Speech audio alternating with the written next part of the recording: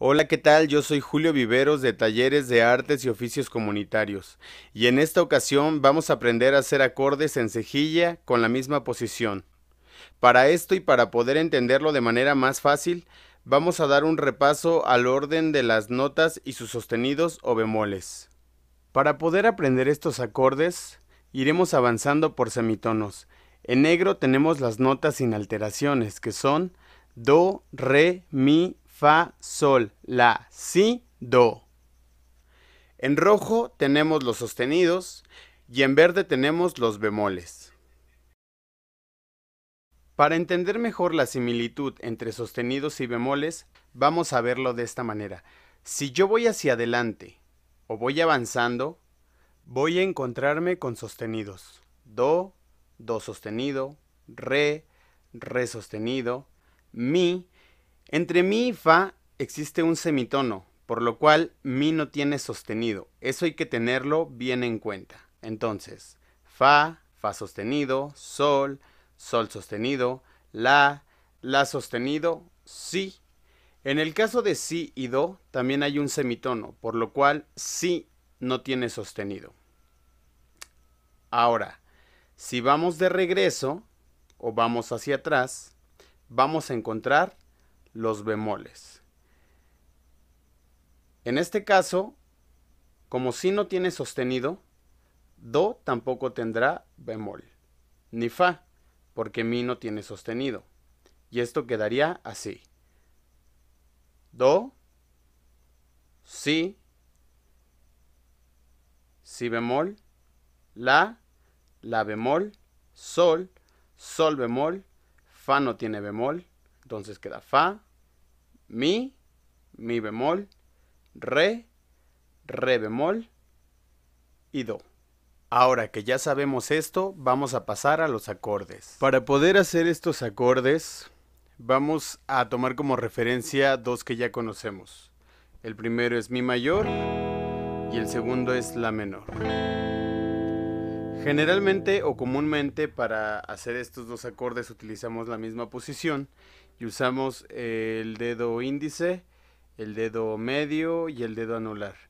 Sin embargo, para estos acordes que haremos con cejilla, cambiaremos la posición. Usaremos medio, anular y meñique.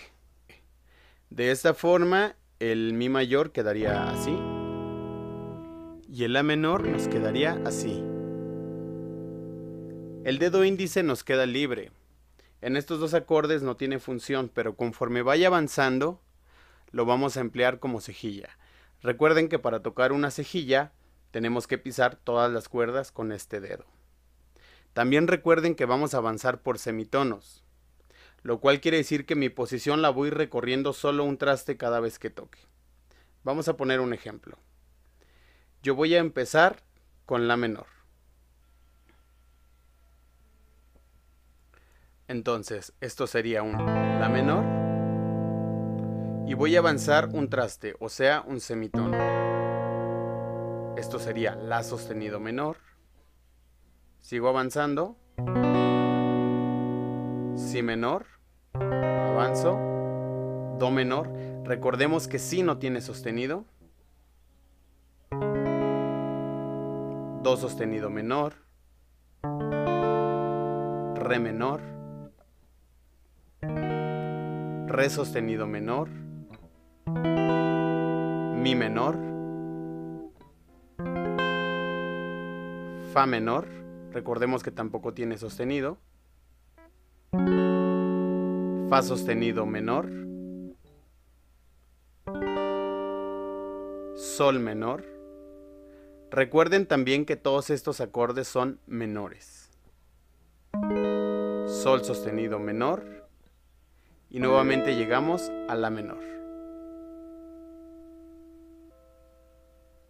Muy bien, mi posición nunca se movió.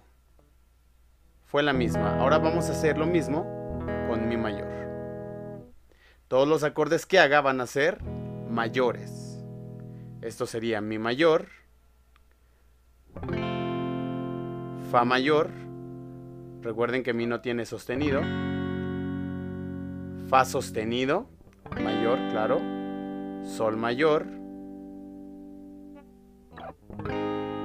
sol sostenido mayor, la, la sostenido, si,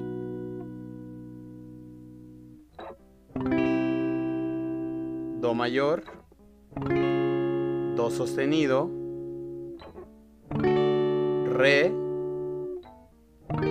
re sostenido. Y nuevamente llegamos a mi mayor.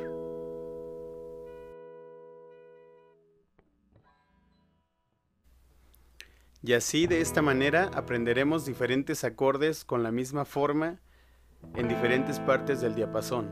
Recuerden que parte importante de esto es saber el nombre de los acordes y dónde se ubican en la guitarra.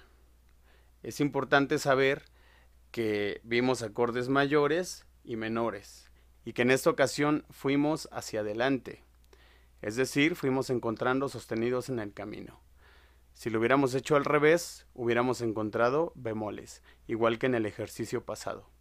De igual forma, en la pantalla les indiqué dónde estaban esos bemoles. Pues nada, solo queda practicar, cuídense mucho y nos vemos la próxima.